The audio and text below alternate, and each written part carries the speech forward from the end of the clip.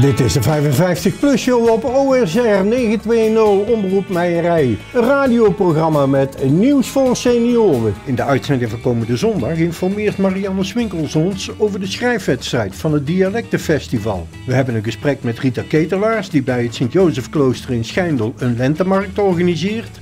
Omroep Meijerij en OSR 920 werken nu één jaar samen op radiogebied. Een terugblik met de voorzitters van beide omroeporganisaties. En Anton Buiting, Sonja van den Heuvel en Ingo Oudenaard doen zondag ook met ons mee met een Meijerijsverhaal, informatie uit de bibliotheken en het gedicht van de week.